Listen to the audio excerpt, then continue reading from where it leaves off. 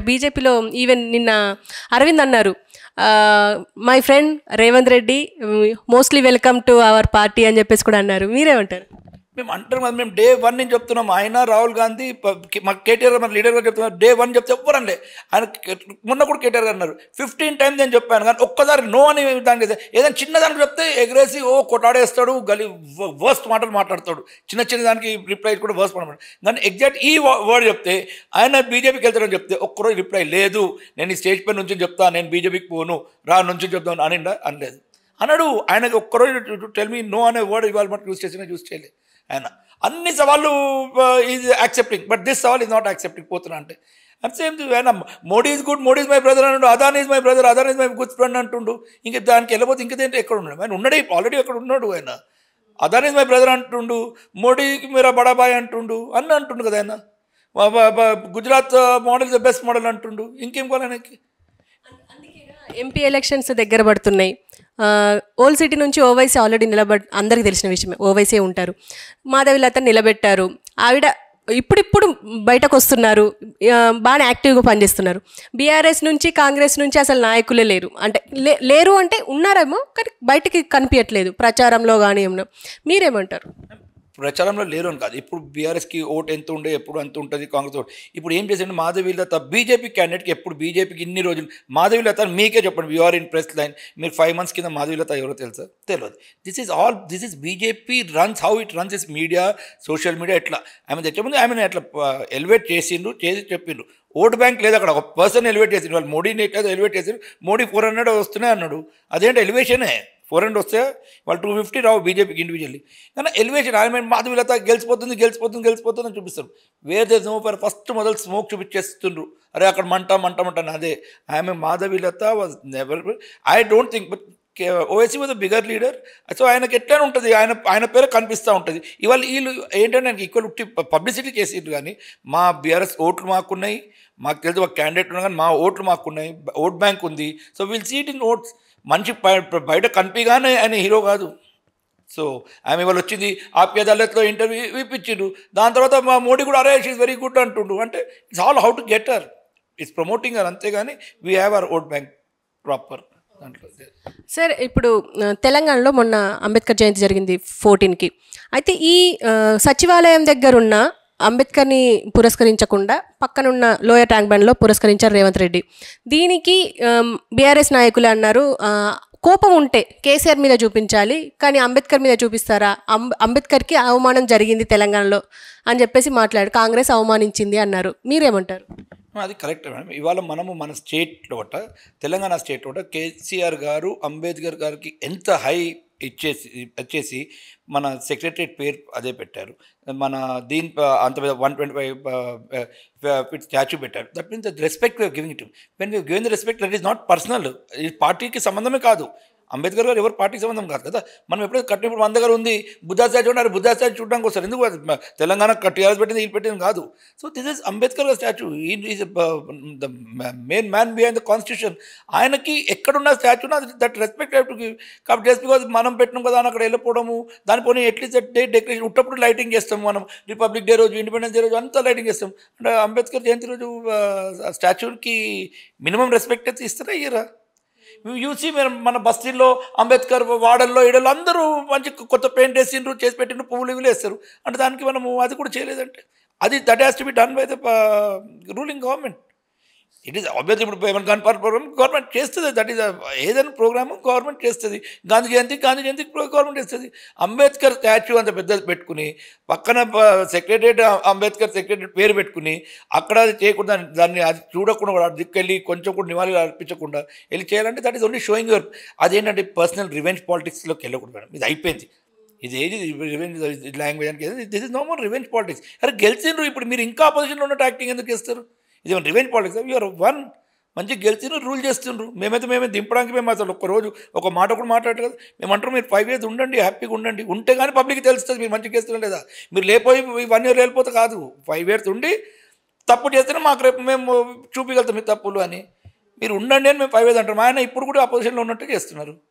Is acting more like an opposition leader then chief minister is not keep it chief minister ఉండదానే ఉంచట్లే ఆయన. రెస్పెక్ట్గా Uh, ఇటు కాళేశ్వరం ఆరోపణ Kaleshwaram scam ఆరోపణ కావచ్చు ఇటు ఢిల్లీ లిక్కర్ స్కామ్ ఆరోపణ కావచ్చు అంటే ప్రూవ్ కాలేదు కాబట్టి ఆరోపణ అంటున్నాను. And phone tapping. ఇది కేటీఆర్ వల్ల సినీ సినీ నటుల బంధాలు కూడా విడిపోయాయి. ఈవెన్ సమంత నాగ చైతన్య అంటారు రకుల్ ప్రీత్ అంటారు. ఏదో some అన్ని బురద చల్లే ప్రయత్నాలు జరుగుతున్నారని చెప్పేసి వీఆర్ఎస్ నాయకులు అంటున్నారు. కానీ మీరేమంటారు? అంటే గవర్నెన్స్ అంతా పక్కన పెట్టేసి ఇదంతా చేస్తుందంటారా?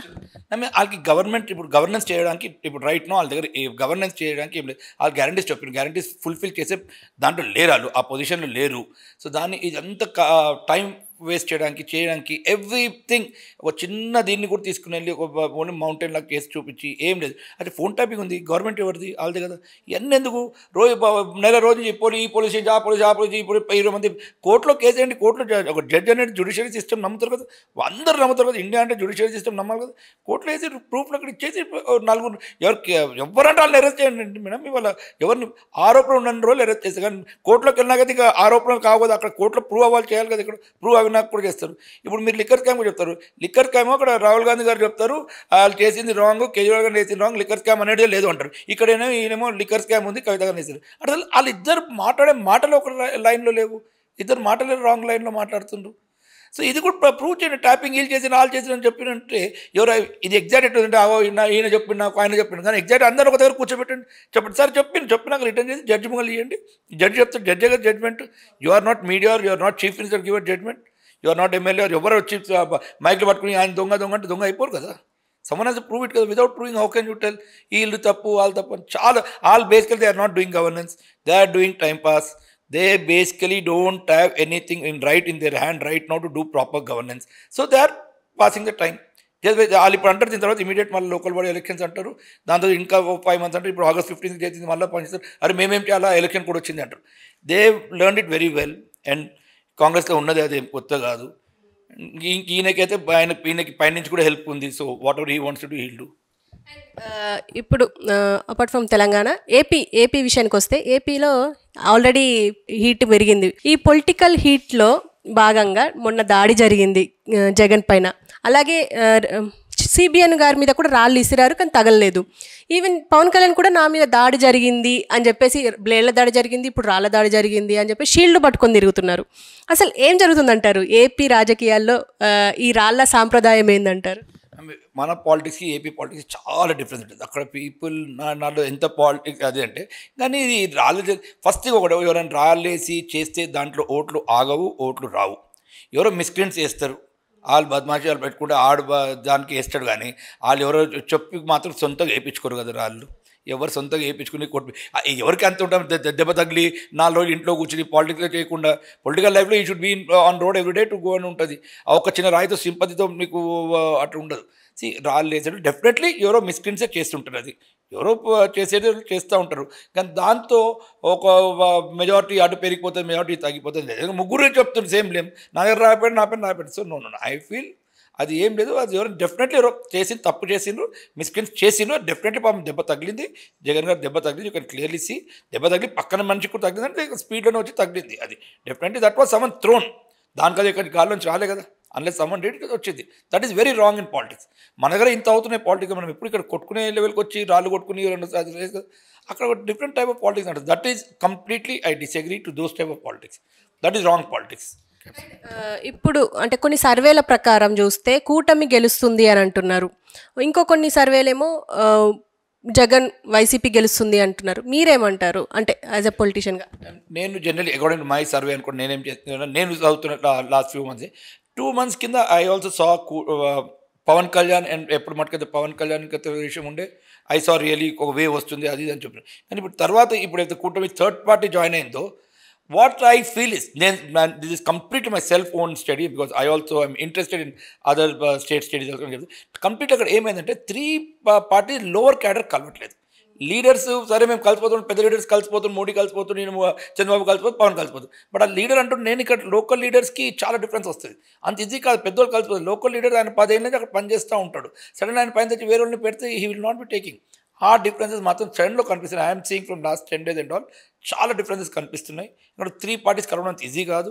వచ్చి మోడీ గారు స్పీచ్ ఇస్తారు ఇస్తారు, ముగ్గురు చెప్తారు. కానీ లోకల్లో వాళ్ళు local situations is more important లోకల్లో ఆయనకు all MLA important so all ఇండియన్లు ఎవరికైతే సపోర్ట్ ఆయన సడన్ ఆయన బద్ద వేరే తీసుకొచ్చి పెట్టేసి లేదు ఈ సీట్ మనం వాళ్ళకి ఇచ్చేస్తాము మనం బొత్తులో ఇచ్చేవలసి వచ్చింది అని అంటే కొంచెం డిఫరెన్స్ అవుతుంది. కొంచెం it is become difficult now it become tight what I saw two months back three months back now I see very tight this thing లోపల కింద people are not so easily going around పాటలు కలవట్లేదు అనిపిస్తుంది. ఎక్కువగా ఆ, ఇప్పుడు in ఇంట్లల్లో ఉండే ముసలి వాళ్ళు కావచ్చు ఓల్డ్ పీపుల్ ఎక్కువగా జగన్కి సపోర్ట్ చేసే అవకాశం ఉందంటారు.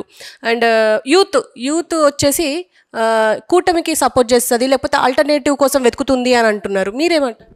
నేను నేను I think as of now what I see as of now I see కొంచెం జగన్ గారి గుడ్ మంచిది అంటే two months back I saw ఉంది ఈవెన్ చంద్రబాబు సైడ్ అది ఉండే బట్ నా అగైన్ ఆ స్పీడ్లో చూస్తుంటే ఐ ఫీల్ ఇక ఫస్ట్ థింగ్ ఒకటేమో what all he gave the schemes and all people are people first schemes వాళ్ళు క్రీచ్ అవి స్కీమ్స్ చూస్తారు అని చూస్తారు. ఫస్ట్ ఫైవ్ ఇయర్స్ కాబట్టి మినిమం టెన్ ఇయర్స్ రావాలనుకుంటారు. చూస్తారు స్కీమ్స్ కోసం పూర్తి చేస్తారు. ప్లస్ యూత్లో ఆయనకి ఎట్లయినా I think he's got better this thing నేను చంద్రబాబు గారికి యూత్లో అయితే ఆయనకైతే ఉంది డెఫినెట్లీ అంటే ఇప్పుడు బీజేపీ వచ్చింది అనగానే BJP was never a big factor in Andhra Pradesh ఆంధ్రప్రదేశ్లో యూత్ని గుంజి అంత పెద్ద ఫ్యాక్టర్ అయితే బీజేపీ కాదు ఎప్పుడు. సో ఎట్లీస్ట్ మనకి ఇక్కడ ఆంధ్రప్రదేశ్లో యూత్ని బీజేపీ గుంజే అంత పెద్ద ఫ్యాక్టర్ కాదు. నార్ జగన్కి ఈక్వల్గా యూత్ని గుంజే ఫ్యాక్టర్ ఇవ్వట్లేదు I think this is my personal because Jagan was very close to me we're from same school అని మాకు చిన్నప్పుడు ఫ్రెండ్ నాకు and all so what I feel exactly I read him so I know him personal that's what that my feeling is that's sir అంటే ఫైనల్గా ఇప్పుడు మీరు ఆ, మీ తండ్రి గారు కేకే గారికి మీరేం చెప్పబోతున్నారు? నేను ఏం కాదు madam I still wish he should have been in this party as a this thing because ఆ పార్టీకి వచ్చి గుడ్ టైమ్స్లో అందరూ ఉంటారు. గుడ్ టైమ్స్లో ఉండడం అంటే అందరూ ఉండేసి Dil be happy and all when the party is not in good time that is the time you need a teacher or elder person to tell family విడిపోయేటప్పుడే ఇలా ఉన్నప్పుడు ఒక పెద్ద మనిషి ఉండాలి ఇది ఇది అని చెప్పాలి. కానీ మనం ఆ టైంలో మనం లేకపోతే ఎట్లా అని నాదొక wish I still wish he should బీనియర్ been here అని నాకు ఒక అది. ఎందుకంటే ఇప్పుడు పార్టీ బ్యాటన్ ఉన్నప్పుడు ఉంటే మంచిది కదా అని నాదొక I always feel feel the same thing I didn't know from the day first నుంచి అన్నట్టు ప్లాన్ చేస్తుండే అని. లేదా నేను ఆ రోజు కూడా కూర్చుని మాట్లా చెప్తుండే ప్లీజ్ చేస్తుండే.